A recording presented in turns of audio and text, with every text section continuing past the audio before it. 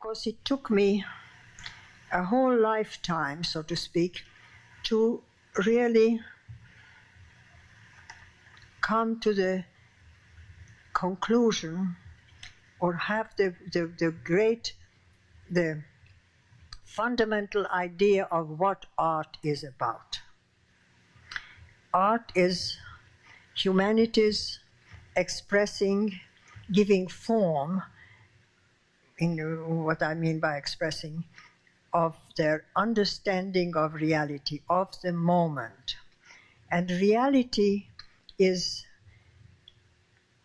the wonderful Zen, old Zen definition of absolute reality is a circle without circumference where the center is everywhere.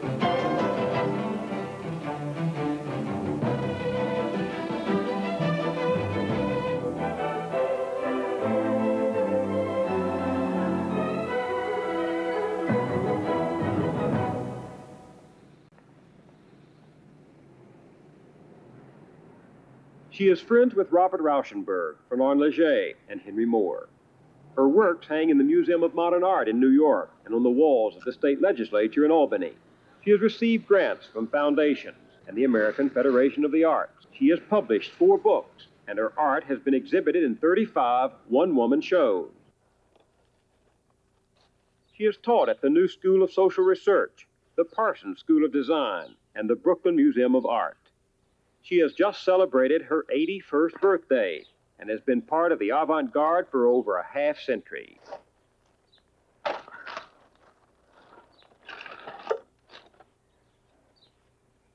To Sari Dienes, nothing is so humble that it can't be made into art.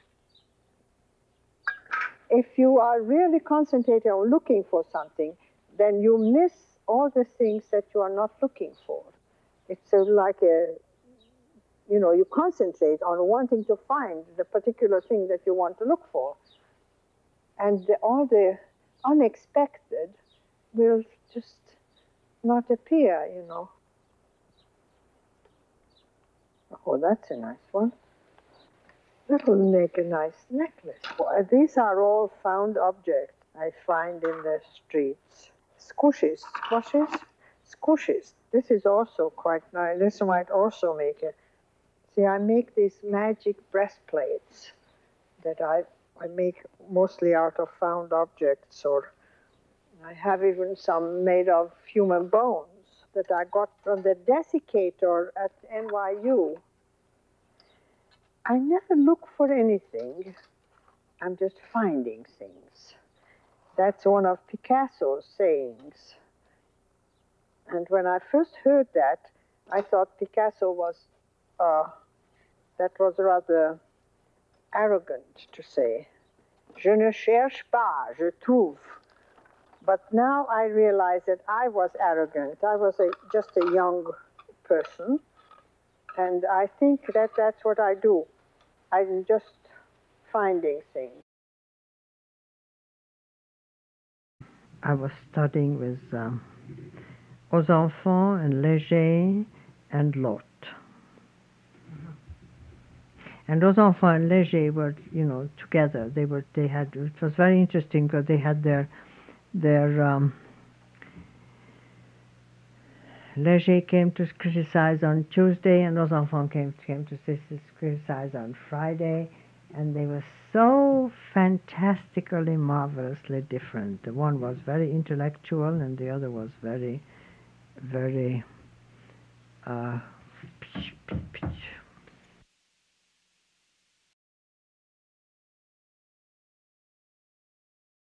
Leonora Carrington was, when she was 19 years old, she was working at the Ozenfant School in London, where I was directress of the school.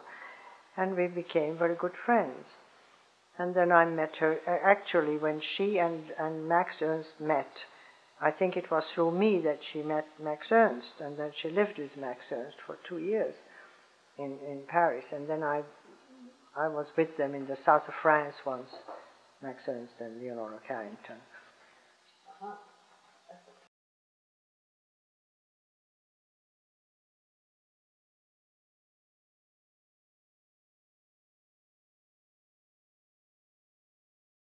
In the 40s, I had shows at uh, Betty Parsons Gallery, and I think in the late 40s, Amédée Ozenfant came to review my one of my shows, and and he he, he said he wrote it somewhere in a paper, or it was I think he was maybe it was on the radio that he said that that she has now the courage to to disregard all the everything that she knows in order to find out what she doesn't know anything about. And that's exactly what, what happened to me. It changed my whole whole attitude to, to life and therefore my whole attitude to, to, to my artwork.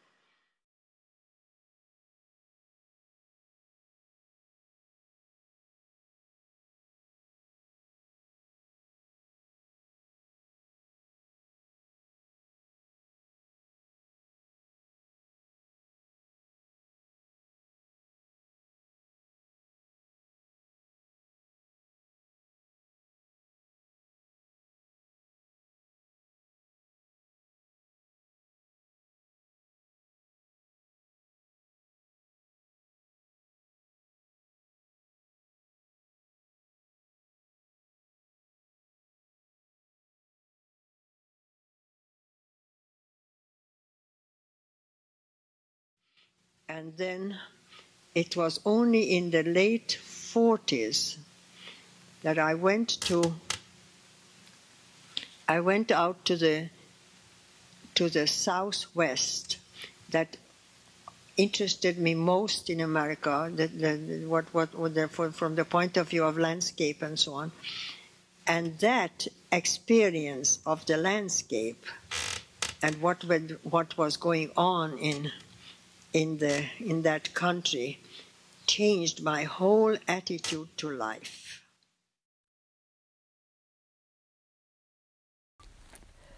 A big black whale lies under the orange sky in thunderous sunshine.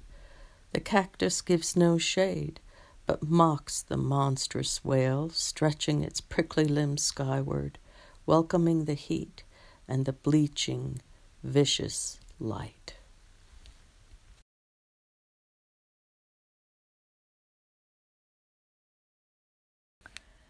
An excerpt from the recent book by Christina Weyl, The Women of Atelier 17, published by Yale University Press. She worked at the studio between 1949 and 1952. Dienes befriended many Atelier 17 members and exhibited her prints regularly with the studio. Her prints are highly finessed featuring heavily encrusted passages of aquatint and deeply engraved markings produced with the scorper. They are largely abstract, with metaphorical references to the primordial unknown and personal transitions. Dienes viewed the production of each print individually and consistently rotated the orientation of impressions pulled from the same plate. The experience of printing these highly textural plates spurred her interest in frottage. Starting in 1952, Dienes began to make rubbings from nature wood, bark, grass, and flowers, from man made urban features, manhole covers, and subway grates, and from ancient petroglyphs.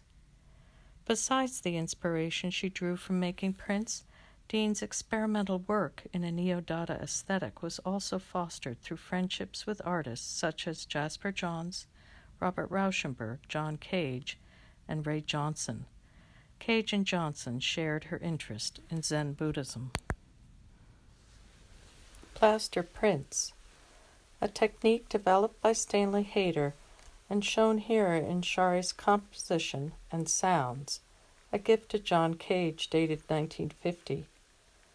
A frame is made on top of a pane of glass, and an inked copper plate is laid on the glass face up.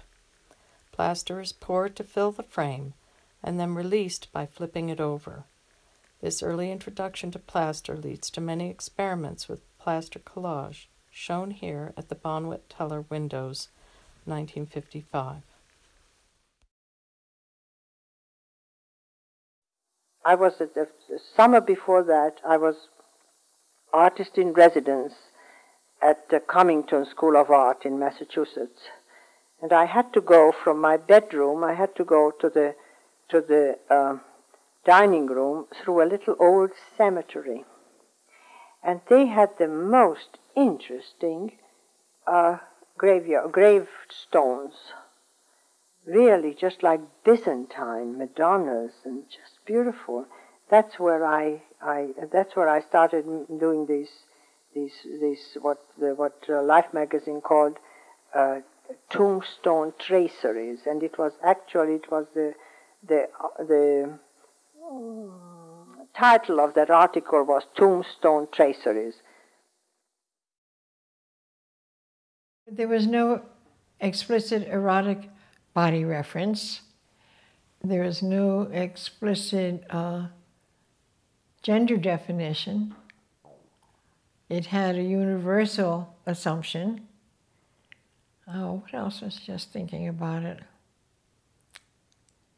And in that regard, it relates more to Fluxus, where um, explicit self depiction was considered um, incorrect.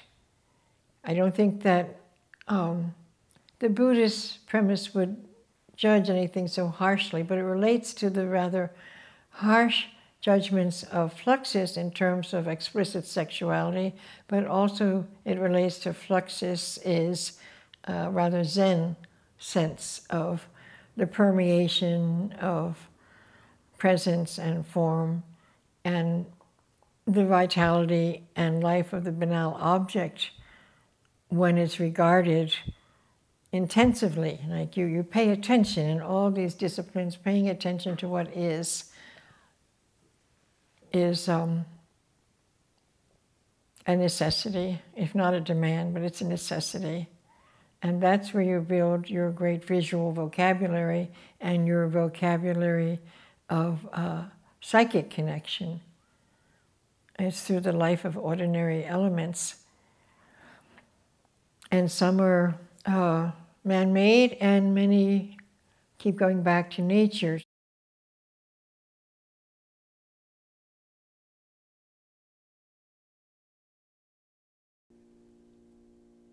And I wanted to find some technique we could use.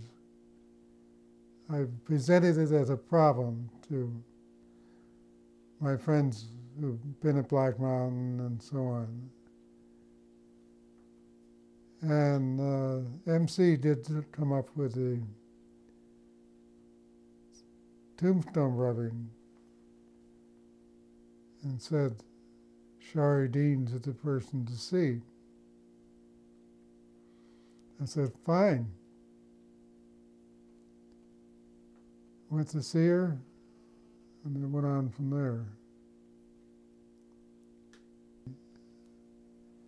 It seemed to be a continuation of the principle recently proposed on languages. Languages with the most phonemes would include clicks and yelps and any, any other thing that's part of a conversation, are the oldest the ones which have the fewest phonemes, which Polynesian is, is one of the better examples, are the youngest languages to split. This is happening in the petroglyphs as well. The ones on the Columbia River far more varied and, and interesting than the ones in Maine. But they still deal with the same basic concern with obtaining power from the spirits.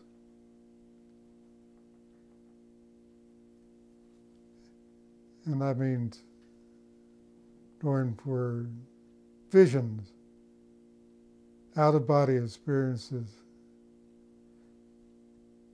and at the very least, meditation.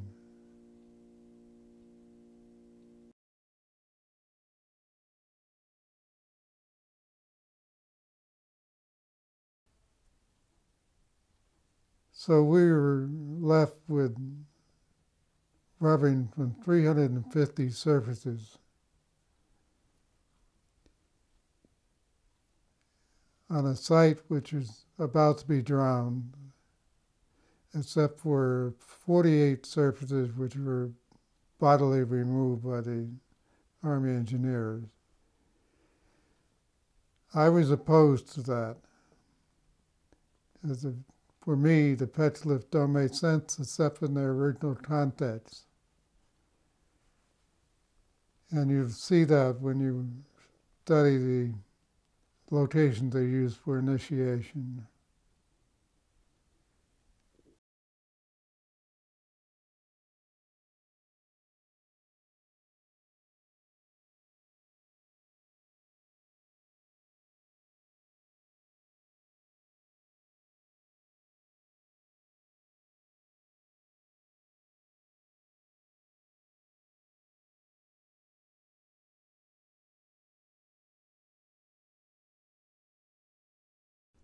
Sari would ensure that she got help doing the rubbings because she was doing them at three o'clock in the morning in the street and it was cold and it was windy and she needed people to help her.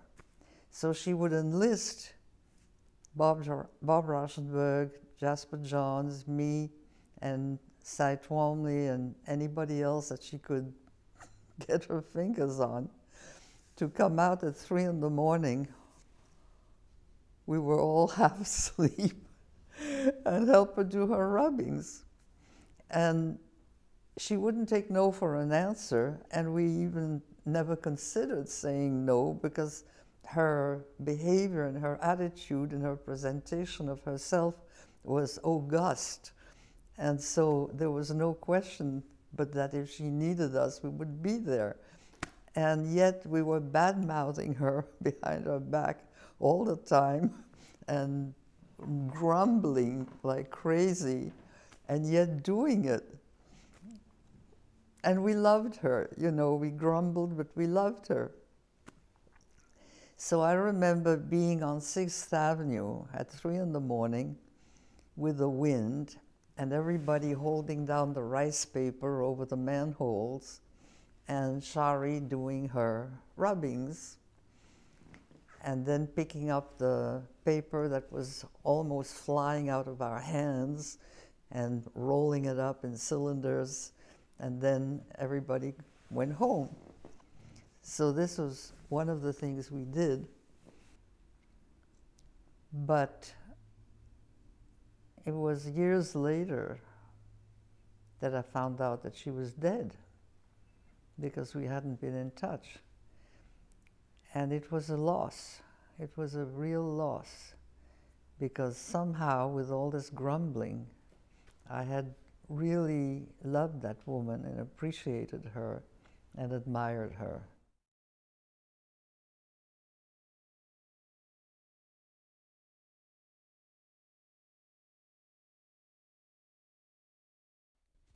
June 1st, 2011. Dear Miss Pollitt, thank you for your letter. I was able to visit the Sari Dienes exhibition last weekend and enjoyed seeing it. Some of the rubbings reminded me of the 1950s when, after finishing my work at the bookstore on 57th Street, I used to visit Sari, who lived nearby. After midnight, we would go out on Sixth Avenue, and she would work over the cracked street in various cast iron manhole covers. I was responsible for keeping the sometimes enormous sheets of fabric or paper that she used from blowing away. Best wishes, Jasper Johns.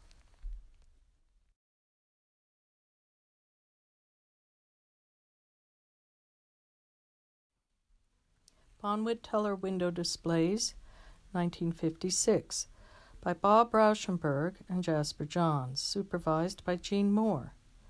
Johns and Rauschenberg often pulled work from friends for these displays. Sari was in correspondence with Jean Moore about her windows while she was on the West Coast.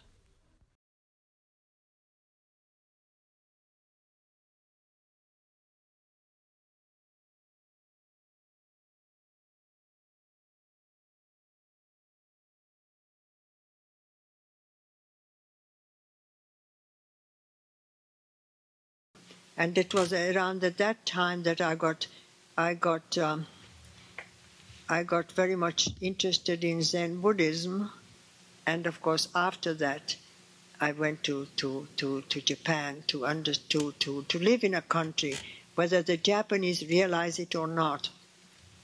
But their whole culture is very much based on Zen Buddhism. And I wanted to live in a country where, where that is that is what's what's based on.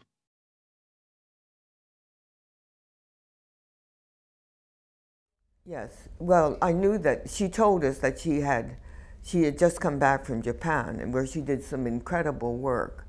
And uh, her her studio had burned down and she lost much of her work. But then she was paid insurance and she took the money and went to Japan and stayed there for a whole year where she became very involved in Japanese life, especially with the artists. And at that time, she was very impressed with the fact that they didn't work so much alone as worked in groups. And that impressed her. And she also did some incredible uh, ceramics at that time and knew all the potters. And uh, also, she studied calligraphy and she studied Zen she actually went to temples and did uh, meditation.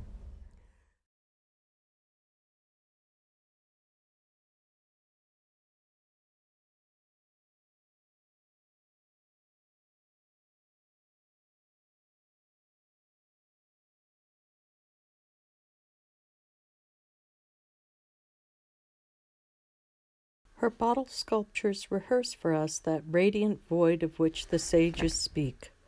Forms press forth invisibly. The glass captures their reflection, and we think we see multiple dwellings for a genie. Quiet seas for small ships, messengers from floating islands of light and color.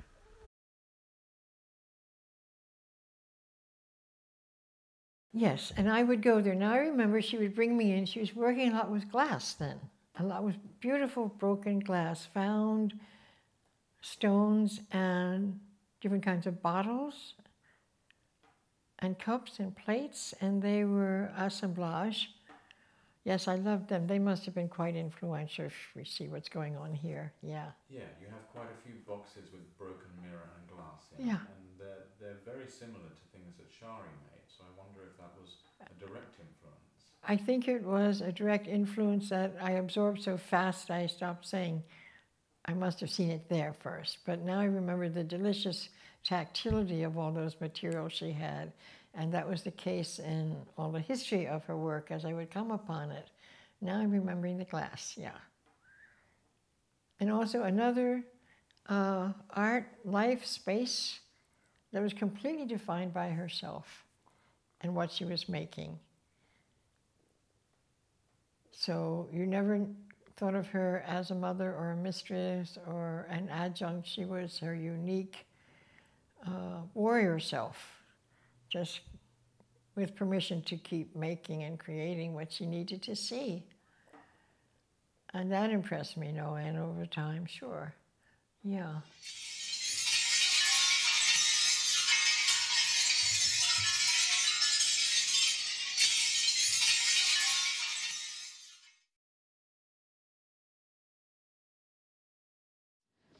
I think my work with the mirrors was very significant. That's good. Even low and Oh, I've worked for years in, with these mirror, what I call mirror brocages, you know. The, you know, you have seen those things upstairs and so on. Well, I don't know when it was. Because um, uh, for many, many years, when I was a young woman, I had a feeling that I was just a, a reflection of all the people and all the things that are in the world I am reflecting. And I'm not really, I'm a sort of a, a reflecting image.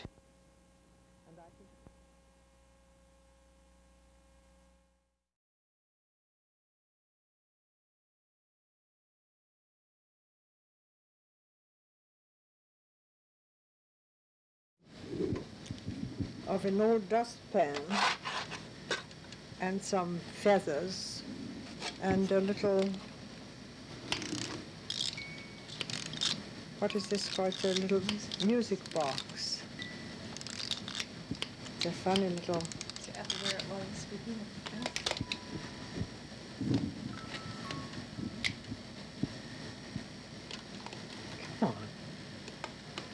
will it will only play when it when it feels like it.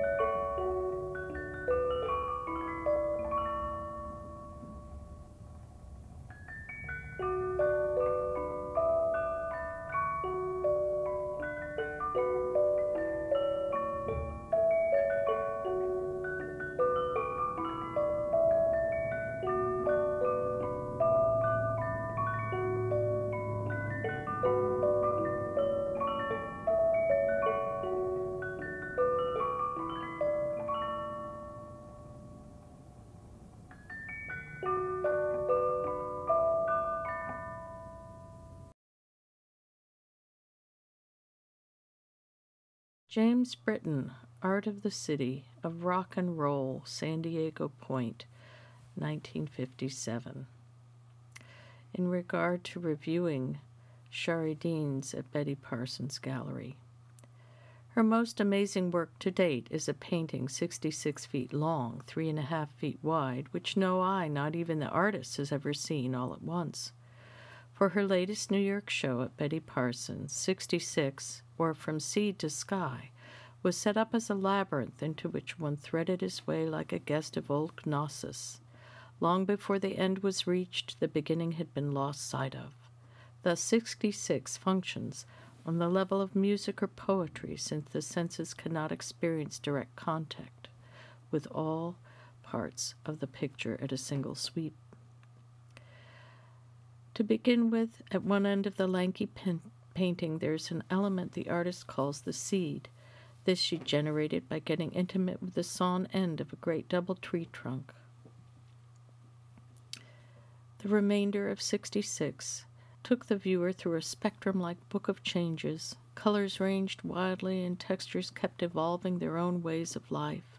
Often effects were obtained by the ink rollers picking up messages from something or another underneath the tissue. It might be strands of grass or twigs or string. The transition from natural material to man made doesn't jar. Everything in its ghost likeness has a common quality of rediscovered phenomenon. Even wrinkles in the paper, when smoothed out after being inked, exhibit a tremendous charge of stress and strain, basic forces of nature. Then from Art News, this was written by Parker Tyler. From sea to sky, a scroll 22 yards long synthesizes Miss Dienes's fastidiously Catholic art by being a symbolic narration rather than an imitation of natural objects. However, in her collages, which resemble heavy embroidery, the artist actually incorporates petals, leaves, other parts of plants, and even fauna. By fragmenting and veiling the object, or by desymmetrizing it and resymmetrizing it, she makes it seem to disappear into the pictorial dimension. So the collages make a kind of magic realism, but in reverse. The object is present, but seems unreal.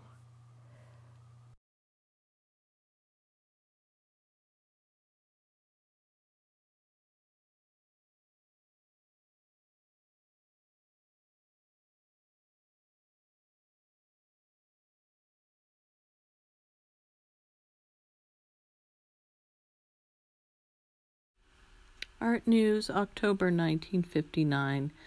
Review by Lawrence Campbell of Sari Dienes at Betty Parsons. Sari Dienes has been away from New York until last winter for three years on the West Coast and in Japan.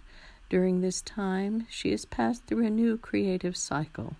She pushed rubbing techniques to their extremes, and with them cast a spell of grays and blacks which pale and glow as a wind in the chimney fans the flames.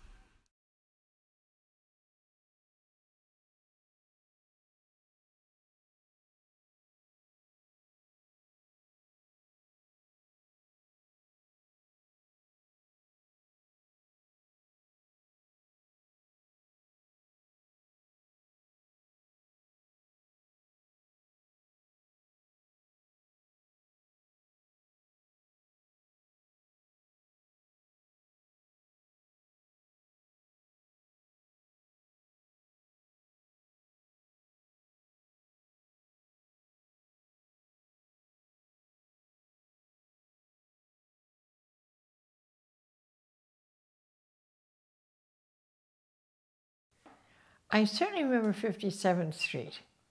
Absolutely. It was just a big, it was big, open, and the north windows and north windows onto 57th Street, I think. And it seems like one of the great piles of paper were there, another was over there near the smaller tent and the bigger tent there. The windowsill was, you know, butter and bread and sort of European feeling to how you could live like this. I probably read that that's how artists could live in Paris. Well, it was revelatory. I didn't, I could have sort of dreamt that a woman could live like this in her art, and her art is her life, and her life is her art, and her domestic uh, demands reduced to a windowsill with slightly spoiling milk and cheese. Uh, so that she would wake up and see her work and think about the work and go through her dailiness, making that in connection to her work. And Sari prepares me certainly for Dada, uh, aspects of European artists. She's a bridge, she's a threshold for me, because no one else offers that.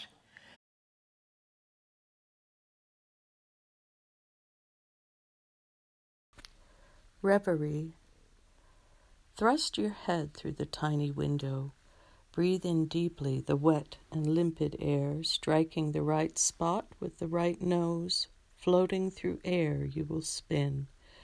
Touching the wings of birds, stroking the feathery beings of ferns, reaching every corner of the courtyard. Inside the room, you are lying on the couch, telephoning for your groceries wondering how the violets on your table have large, round, strong, dark leaves to hide their heads under, but not their scent.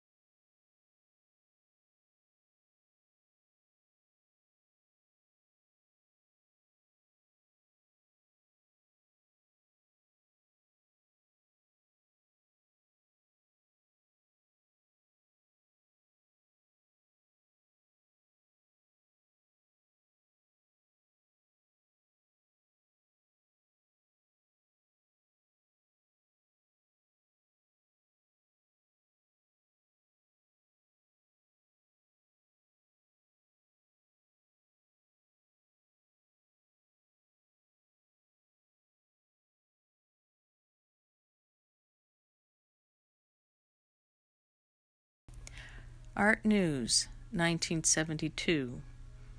A review by Lawrence Campbell of a show of Lily Ente, Louise Nevelson, and Sari Dienes at Bucher and Harpsichord.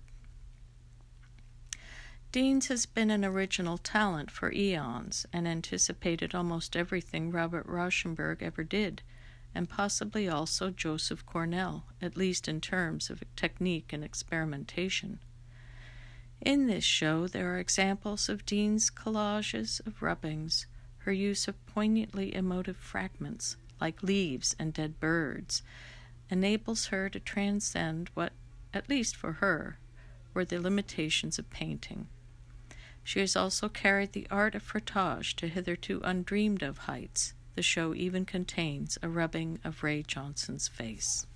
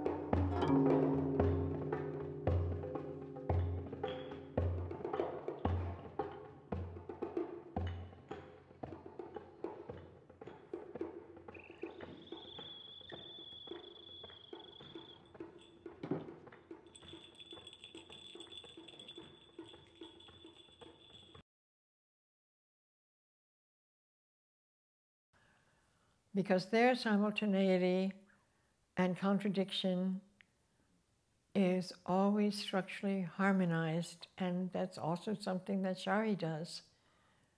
Yeah. You're taking the banal, the ordinary, and then giving it a sublime dynamic.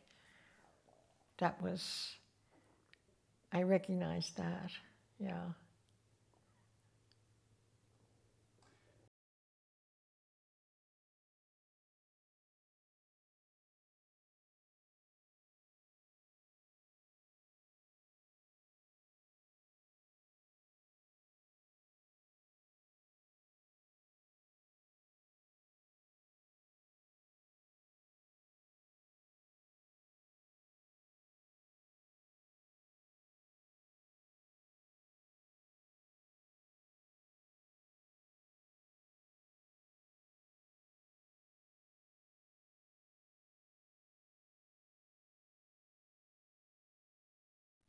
Have uh, could say I've been a student of hers for many years, just being in, a good friend of hers.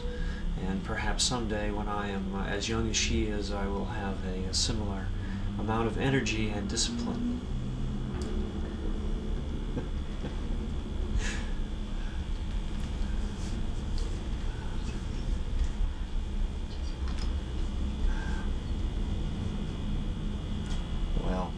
Now I would like to just play a little bit of music for Sari on my instrument, the guqin, which is the ancient Chinese lute instrument I've been playing for a little while, and uh, was featured in our sounding of the I Ching concert last night. Well, last night, last year, whenever you see this, it was in the past.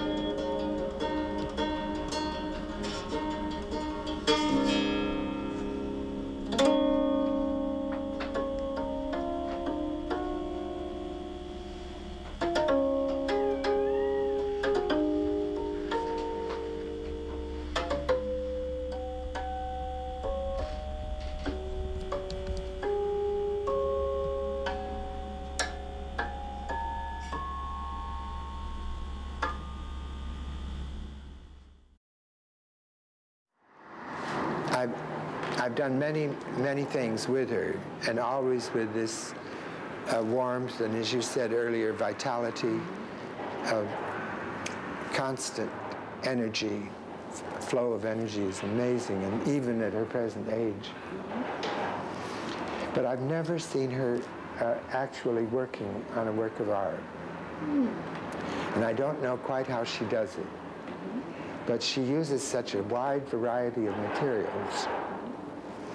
And she probably needs, her, her mind is open to, to possibilities that uh, she's, so you, you might almost say hunting for, like hunting mushrooms. She's hunting for other things to do than she has done. And she's interested in, in um, and all experimentation. So she probably needs a lot of room. I don't think she would uh, hesitate. Uh, I don't want to go too far, but I, I was going to say she, she wouldn't hesitate unless it was absolutely necessary before some experiment. Hmm?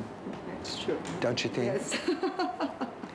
and uh, that's, I somehow connect that with the religious spirit. Uh, she, uh, as I have too, uh, became early involved with Oriental uh, thought. And there, apart from Oriental thought, I, I came to know of the philosophy of uh, George Herbert Mead, who was part of what was called the Chicago School of Philosophy. And he made a marvelous um, text, which I don't know by heart, about the religious spirit. And I think it, it, it brings, Sari brings that to mind. He said that uh, when one is born, that one feels that he's part of one family and separate from the other families. Hmm? But that as you grow older, uh, you, you think that you're in a neighborhood, separate perhaps from other parts of the same city. And when you get still older, you think you're in a, a whole country, maybe separate from other countries. And then when you feel no separation hmm, from anything, hmm, then you have the, then is, is the beginning of the religious spirit. And I think that this, this um, Sari brings this to mind. Because in her experimentation, for instance, she wouldn't hesitate. She wouldn't feel, oh no, I mustn't do that. Hmm? She, would, she would try it. But a great deal of the work has, has um, stone or glass or pottery or textiles or paper. One of the, I think, uh, if there's any difficulty in relation to society of, for the use of her work, it's because she makes the work but never, never, very rarely takes trouble to, to frame it. It's again has to do with this religious spirit. She doesn't want to separate it, I think, mm-hmm. from by means of a frame. You know what beauty is. It, beauty is simply the acceptance of what one you say something's beautiful if you accept it. You know? uh, Wittgenstein noticed this. He said, uh, when we, the word beauty has no meaning. It, it's, it just means that we like, we, we accept it, or it clicks. And he said, wouldn't it be better to have a clicker in your pocket so that when something didn't click, you would take it out and transform it, you see, by clicking it. And Sari doesn't need that, that clicker. -hmm. Because as you just said, she, everything she sees mm -hmm. is, is beautiful. And she makes herself um, very uh, beautiful. How old is she now? 87. Isn't that marvelous? And uh, she looked uh, fully as beautiful as the American flag the, the other day when I saw her, her white hair, you know. Right. And she, there was something very blue and something very uh, red, and they were not just any old red or blue. It was, well, I say any old. Uh, I'm sure any old red or blue would have looked beautiful with her white hair. I don't think you have to um, stop at any point in, in Sari's work. I mean, the work moves right out into the life. Her experience knows no limits. Why? Why is it that? Well, it's this religious spirit. And I think she was early, uh, early caught by it.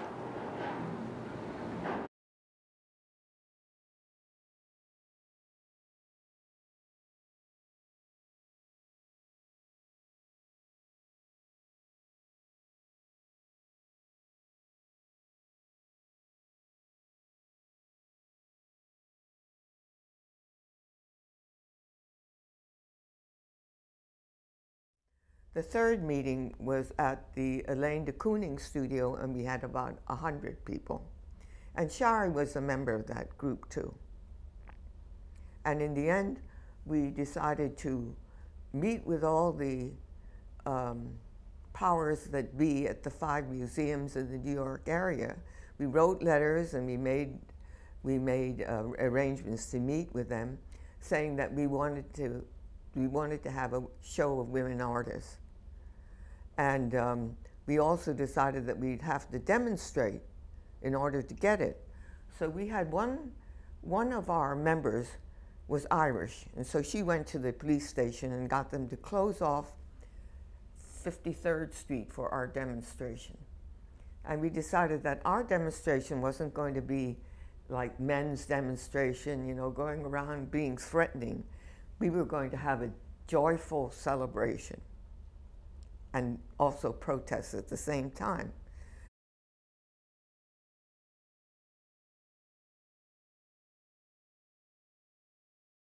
She also was a member of AIR, uh, Sari was, which was the first women's uh, co-op gallery. And um, she had many shows there. But my favorite show was one that she had in which she had sound pieces and things with animal bones, and that was an incredible show. Really ground, groundbreaking. I mean, nothing like it had ever been shown before. And I, I'm afraid that it, it didn't really get uh, the tremendous attention that it should have.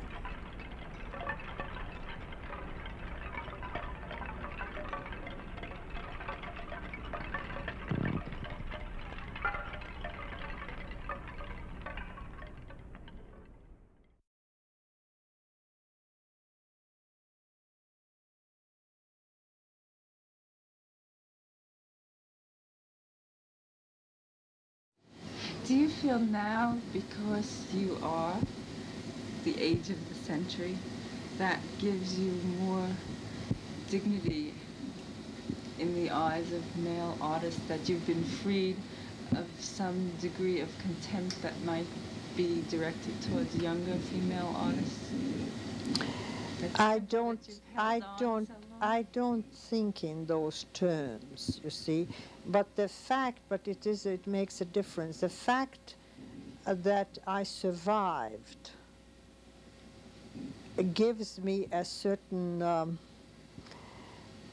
standing, not because I am more successful or uh, more better known, but just the fact that I survived is, it seems to have a, seems to have a, a quality. People think that that's a, you know, but um, I very much believe um, with uh, Gertrude Stein said that in one of her books, that we never think of ourselves any particular age.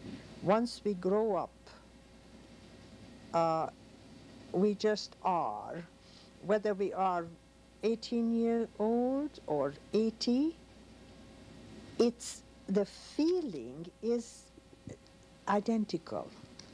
Am I the sun? You are. The feathers and all?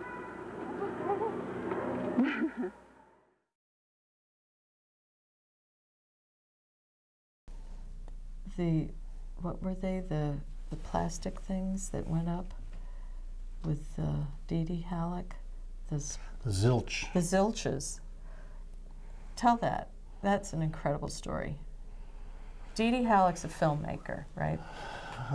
Who's a friend well, of Sari's is, uh, too. I call uh, teenage pranks in that uh, in the winter when it was the bitter cold, she would have the zilch party at her house in their garden, and it would be the the depth of January, February, and she'd call, have a, a, dinner party or something, and everybody would bring uh, plastic laundry bags, that very film um, dry cleaner bags. Dry cleaner bags, that kind of gooey plastic that's just sheet, simple sheet. And then she'd show how you, you tie in a series of dots and then you get a big string out of each one. Then we go out hanging out on the trees. And when it was dark,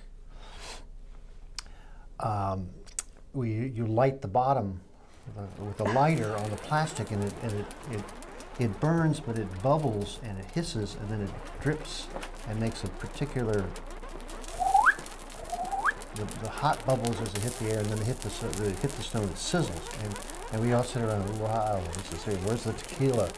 I mean, Mashari was not a drug uh, aficionado or didn't need marijuana or LSD and all the stuff that was typically how people see silly stuff like that. She always is that marvelous. Oh, let's make some more. We sit around. And of course, this is highly toxic and highly dangerous. and when the spring come, we'd have to kind of clean up the carbonized plastic that was getting in the way of the flowers. Toxic. Yeah, it was very toxic. It was a BB made it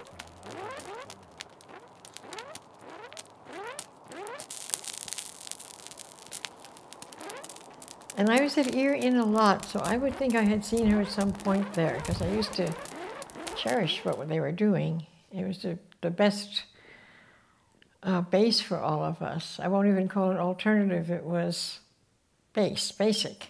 What was the atmosphere like there? Oh, it's just heaven. You know, first of all, it's old. We like that. It's not uh, slick and modernized, and uh, it's Rip's vision of how we can all gather and coalesce and present things. It's very flexible. It has a big open upstairs wooden sort of presentation area. Downstairs, you can drink and eat. Um, it was just the best place to go. But anyway, I you know I was with a a bit of a rolling circus of friends and visitors, and the Ear Inn the upstairs apartment was always a full of visitors or roommates. I mean, we had six, eight people living up there sometimes, and but Sari had the main bedroom.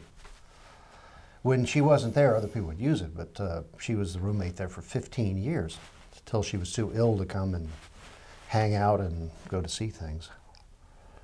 And the house goes on, but without her, we would have all been evicted back in 77. 77 is when she Signed that Harry, paper. the old owner of the bar, who was Hungarian, would, uh, in spite of the objections of the curmudgeon sitting at the stools, he'd call her to the back room. She wasn't allowed to sit in the front room or at the bar at all, but he would. They'd gone on in Hungarian, and that's how it happened. Is that Harry, who wanted to sell and retire, he was a refugee from Hungary, just like Sari. And Sari, and at one point he said, "Why don't you buy it and you know put these young guys to work?" Which is what happened. She made a deal, and we were suddenly uh, cooking and cleaning and serving downstairs, and then it's gone on since that. But without her willingness to do that, it wouldn't have happened. Sari and I did quite a few performances together. I just pulled out the poster of the Dharma Music Festival where she performed her I Ching casting and uh, singing of it while I played Chinese lute and I think Alan Zimmerman on percussion. There's a film of it somewhere.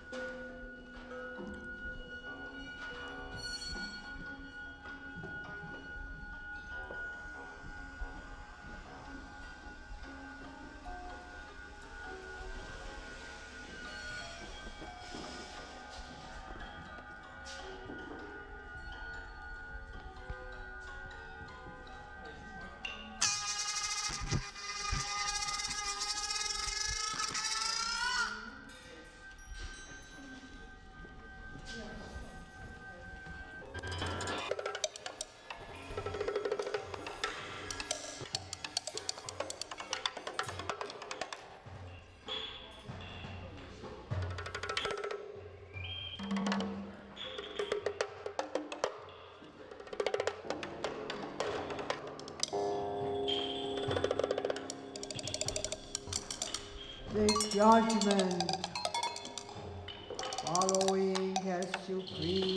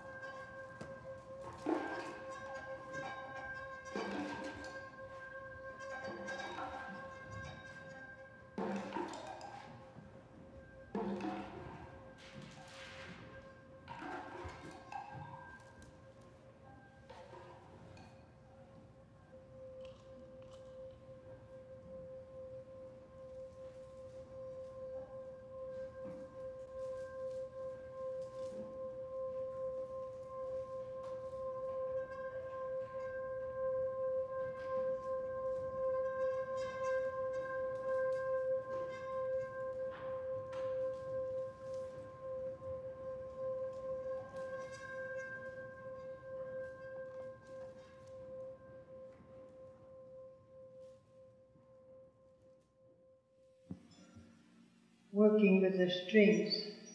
I was inspired by, a, by the new theory of physics, the theory of strings of the universe, the theory of the superstrings of the universe. I've been working with strings for quite a while, making, putting bones and glass and so on on strings, and now I thought I would make a, a whole, whole composition of the of strings and threads to be, that was inspired by the theory of the strings.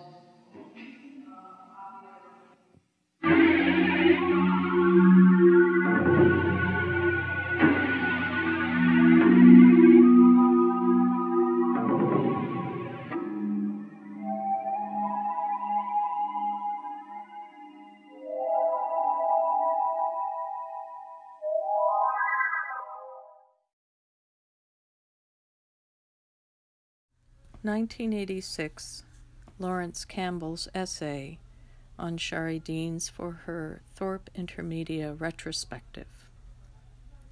I knew her first in 1938 through a friend who was also her friend. I visited her in London in 1939, just before the war began, when the newspapers were filled with the news of the latest frontier crossed by German armies. She was at work on a large black painting. This impressed me deeply, although being quite then new to art, I couldn't pretend either to be able to fit it into any preconceived order or to be able to tell myself that I understood what she was doing. But after all, is it ever really possible to understand anything in the world? Yet I received an emotional message, and that memory left its own memory behind. So I see that large black painting still. It seemed then sensationally modern, and that's the way I still think of it, and also of everything that she has done since. Sari Dienes seems to have long ago mastered a discriminating sense of what lies beyond what we consider as attainable by the five senses.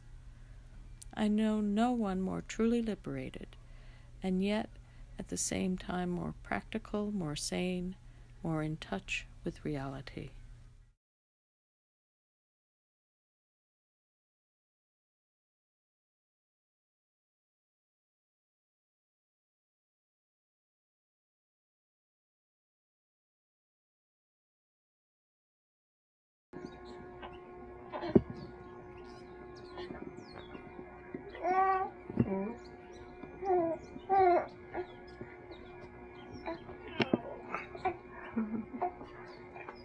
You look like you've handled a baby. Not too often.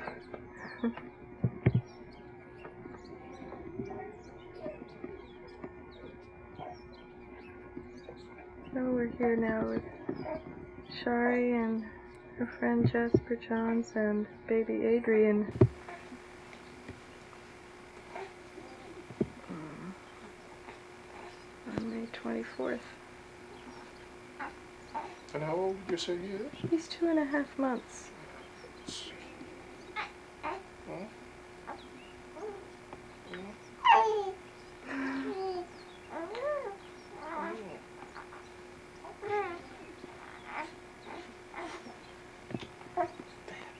Very chatty, hasn't he? Absolutely. I'm telling you all about it.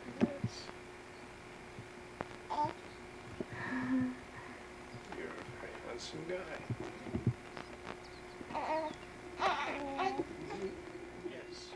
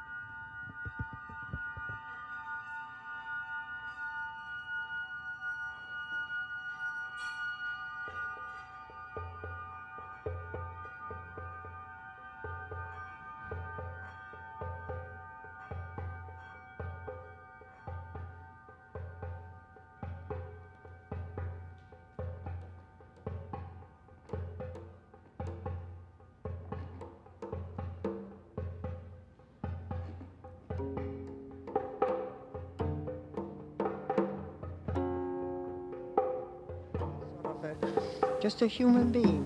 Just like my definition of an artist is an artist is uh, just a human being, only more so.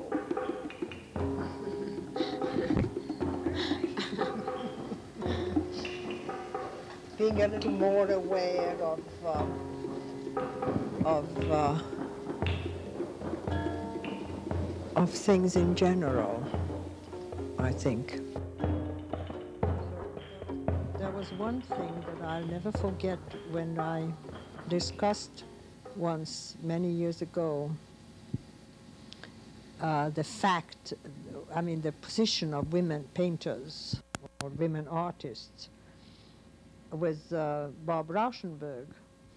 And uh, I pushed him into a corner, and, um, and uh, he finally said to me, Well, Sari, I, do, I have to admit that I would look your work very differently if you were a man.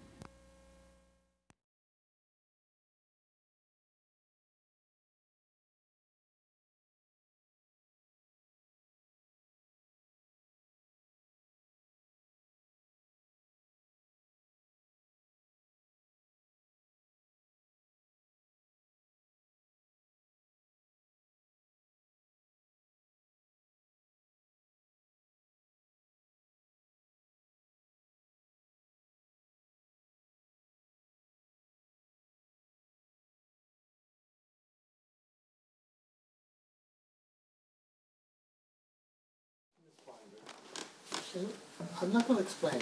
That whole box is a self-portrait. Um, I'm just leaving that and enigma for you. Oh, she didn't become Robin Evans. So. Jesus Christ. As they used to say on the uh, Grand Central Station radio stories, uh, Grand Central Station, a, mil a mil million different lives, and every life a story. Um, every life a story.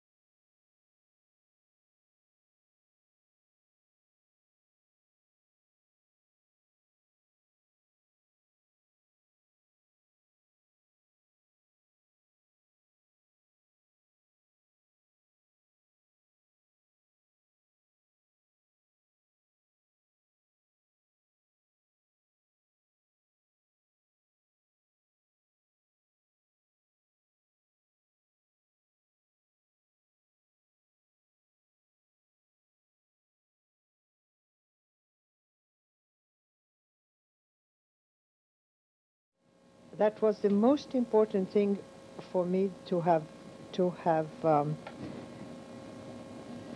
become aware of that this right and wrong and me and the other doesn't exist really. To check out whether, whether I can accept myself or whether I can approve of my concept or somebody should approve of my ideas uh, was just completely, um, I don't function that way, let's put it that way. All right, if somebody approves of it, it's fine. If, even if eh, I'm not even really interested, I'm not really interested in it whether I myself approve of it, you know, fundamentally.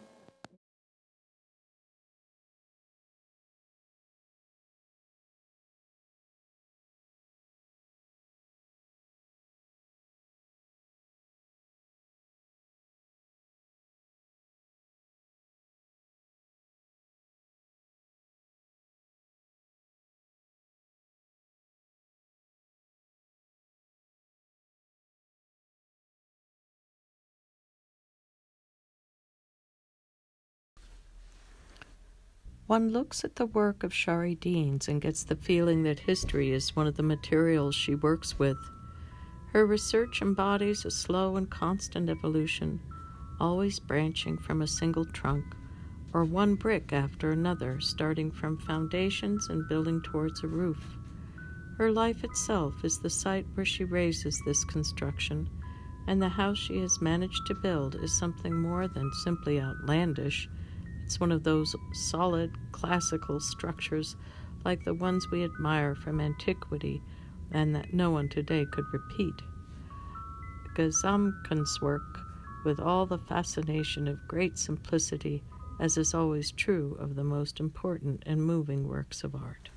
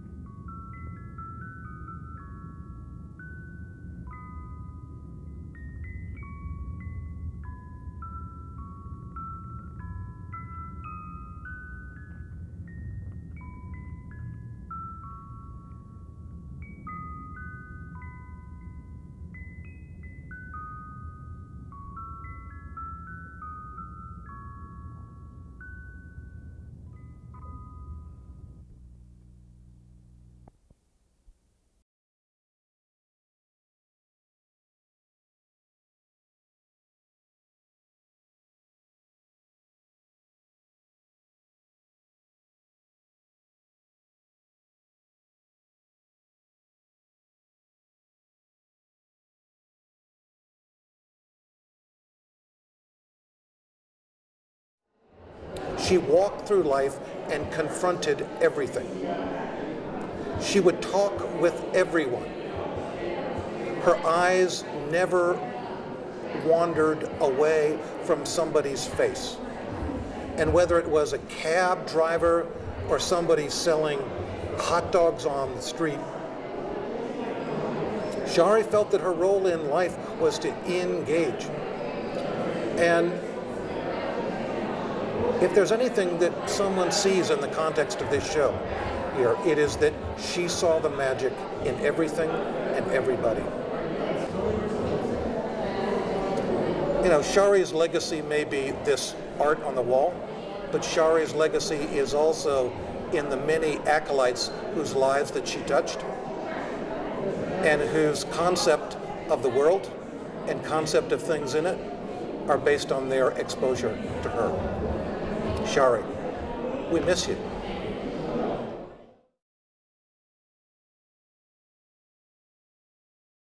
At the time I met Sari, I had not done visual art. It was during the time I knew her that I started doing visual art and showing at galleries and museums. And uh, so it was, uh, she was really an example uh, for, uh, you know, beginning person in that world. And she was terribly encouraging uh, to all of us.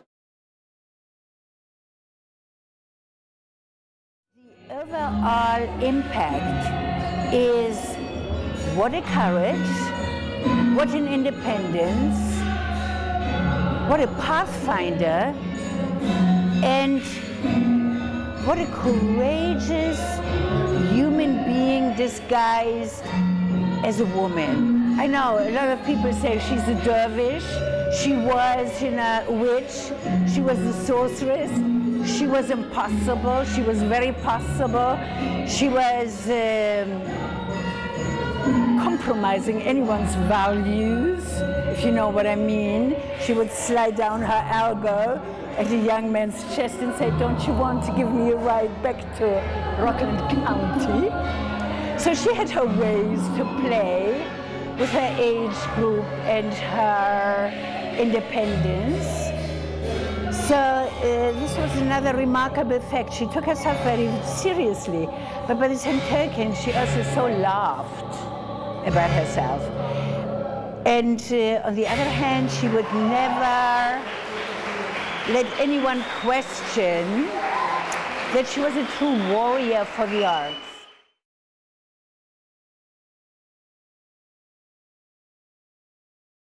I think it's very important to be present in the moment, to be able to observe, more or less as a journalist, some action or some object and take that into your art. And the act of annexing something from the world temporally and physically, um, that is the Sari Dienes' approach. I noticed here that her very early work was very finished, it had a lot more intentionality. And I think the older that she got, the more she connected with nature and began to see the flow of nature. Flow of nature is very important to my work. I work entirely with soundscapes, public events, broadcasts, the, the immaterial. So the intersection between Sari's work and mine is the intersection between solid objects and things that make sound that you can't see. And of course, that intersection is the spirit.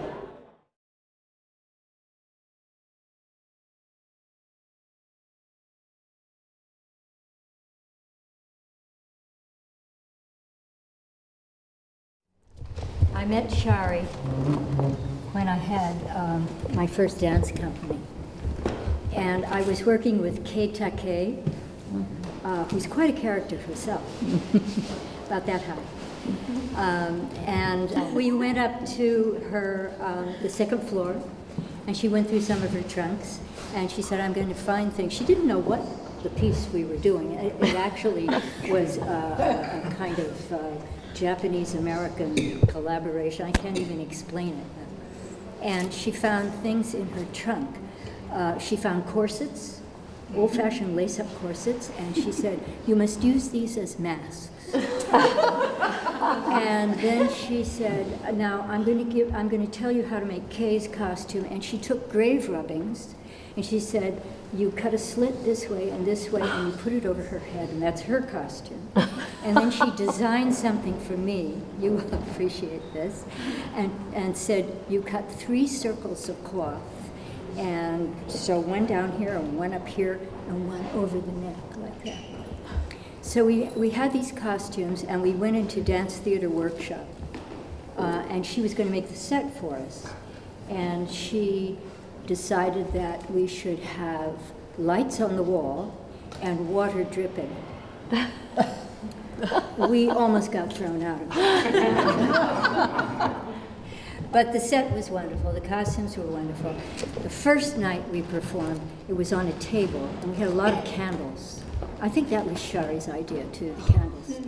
Uh, Kei's costume caught on fire.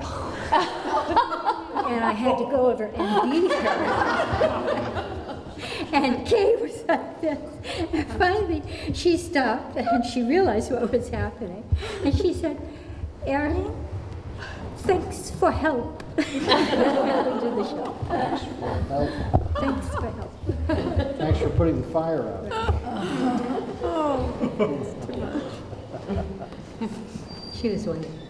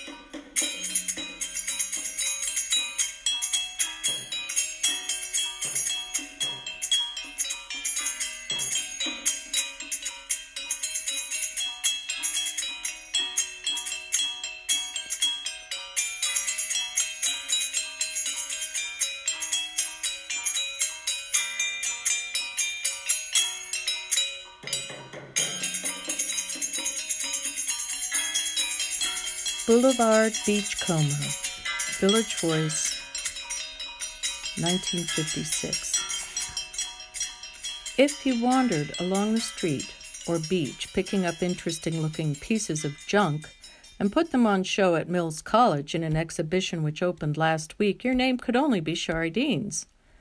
The exhibition is called Objet Trouvé, and Miss Dienes is called Unconventional by some and a true artist by Mills College professor Leon Smith. The objects have color, texture, and pattern, as well as mystery and magic. They connote feelings of times past and places seen and experiences had. They bear heavily on recall and sharpen the awareness of beauty and rhythm in the world around us, in the words of Dr. Smith, to whom I was speaking before Miss Dienes arrived. A tall, graying lady of Hungarian birth, she spends much of her time kneeling on city sidewalks taking rubbings from gratings and manhole covers. About five o'clock on Sunday mornings is the best time, she says, because there aren't as many hecklers and traffic is light. I take those big sheets of paper that photographers use, but I have to keep a firm hold or they blow away. Sometimes I take rubbings of cracks in the sidewalk, and sometimes I take rubbings of rubbings. The Mills College exhibition, 7th floor, 66 Fifth Avenue, contains 1. A rusty garbage can lid, considerably battered. 2. Chips off a pine cone which look like ducks in a pond. 3. A mannequin's leg in a whiskey bottle topped with a seashell. 4. About one third of a shovel which looks like a bird. 5 an automobile hubcap dented by passing trucks. 6. Innumerable pieces of well rounded charred driftwood, burnt orange crates, and scorched easels. And 7. An enormous sheet of rusted metal. Quote, We had to cart it home in a taxi, which resembles a map of ancient Egypt. In her uptown studio, Miss Dienes keeps two other prized specimens a fish tank full of empty bottles and the skeleton of a horse she found in New Mexico. It was too big to keep intact, she says, so I attached the ribs to the light cord above my head. Even when I'm a little bleary, I can always find the light because the bones rattle when you bump into them.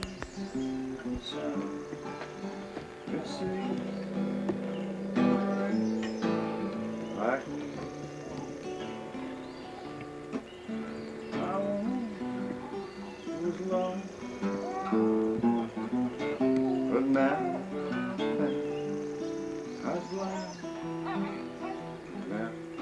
I can see. Amazing grace, how sweet the sound that sings like me. I was lost,